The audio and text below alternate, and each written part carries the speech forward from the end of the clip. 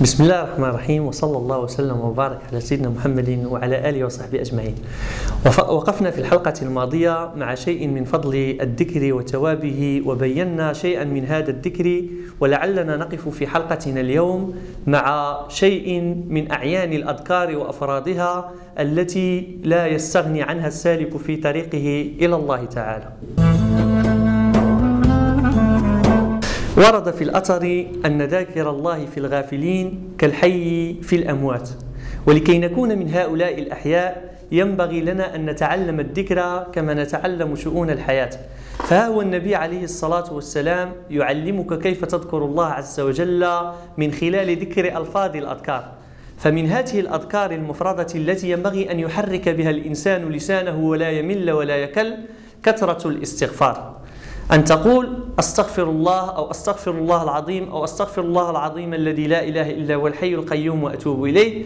وقد أخبرك النبي عليه الصلاة والسلام أن من لزم الاستغفار أي جعل لسانه متعودا على الاستغفار جعل الله له تعالى من كل هم مخرجا ومن كل ضيق فرجا ورزقه من حيث لا يحتسب. أتعاني من الضيق أو الفقر أو الحاجة؟ فها هو الدواء من صيدلية النبوة أن تكثر من الاستغفار.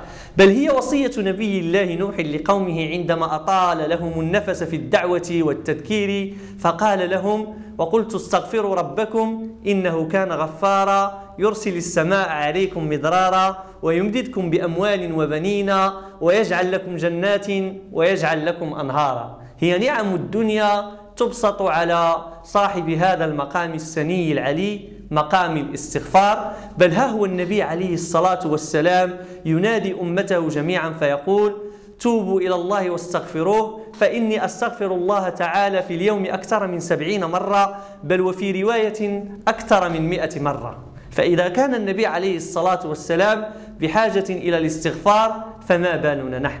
كذلك من هذه الأذكار المفردة الإكثار من قول كلمة التوحيد لا إله إلا الله وهي دواء ولا كأي دواء دواء مجرب عرف فضله عباد الله الخلص فها هو النبي عليه الصلاة والسلام يخبرك أن الإيمان يتقادم في صدر العبد.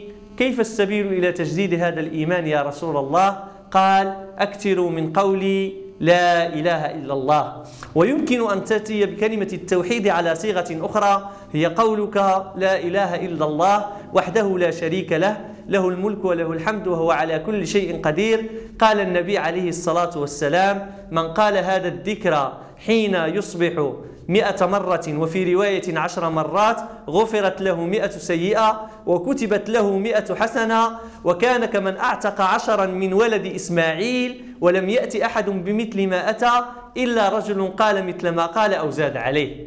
كذلك من أعيان الأذكار المفردة التي ينبغي أن يحرص المكلف عليها التسبيح والتحميد والتهليل.